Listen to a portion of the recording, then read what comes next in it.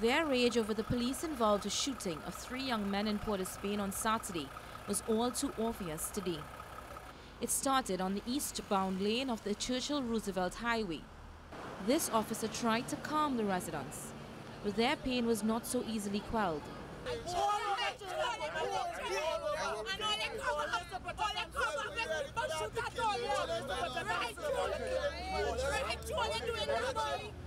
They are questioning the role of the TTPS. Come on, man, police can serve, they're killing the youths. They're killing the youths. I want people to hear that they're killing the youths. And while the officers were busy ensuring the eastbound lane remained clear, fires were being set along the westbound lane and on the street leading into Sea Lots.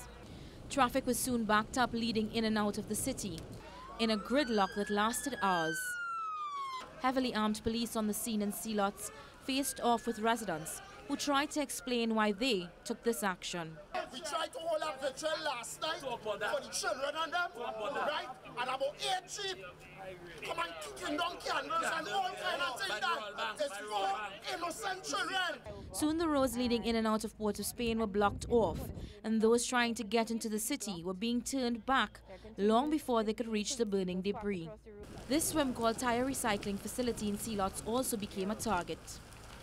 And despite the best efforts of the fire services, the capital was quickly blanketed with smoke. Those trying to find alternative routes into the capital were also out of luck, as the Lady Young road into Port of Spain was blocked. But with heavily armed police and officers of the TNT regiment on the scene, the fires eventually burnt out and some semblance of normality returned. Sharlene Rampersad, CNC 3 News.